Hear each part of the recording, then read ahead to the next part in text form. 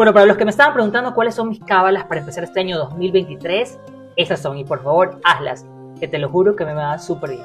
Una de las cosas que yo uso como cábala es lanzarte lenteja en todo el cuerpo. Recuerda lanzarte muchísima lenteja, eso te va a dar muchísima abundancia.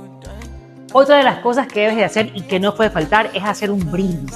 Brinda, sírvete, tírate champán en el cuerpo, celebra por todo lo que se lleva este año y por todo lo nuevo que te va a dar este nuevo año. Recuérdalo, champán en el cuerpo, salud y a la fiesta.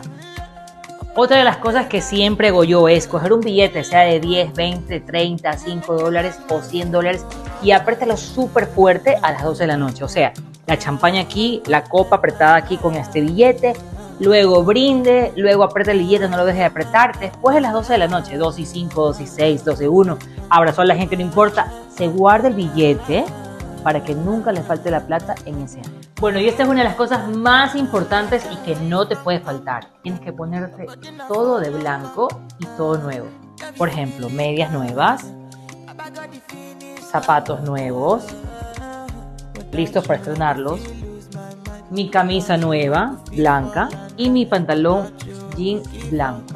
Así que te vistes todo de blanco, pero todo nuevo y ese este año bien. También quiero decirte que no te olvides, aprieta el billete, coge el champán, vístete todo de blanco con ropa nueva y por supuesto brinda por este nuevo 2023 que te traiga éxitos, fortuna y por supuesto que se cumplan todas tus metas. Y me está olvidando algo súper importante, por favor no llores. No llores, yo sé que el mundo te ha pagado mal, que te ha pasado todo en este año, que no lo has pasado bien. No llores. Sonríe, sé feliz, brinda, porque si lloras y empiezas el año llorando, llorarás todo el año. Así que, por favor, no llores.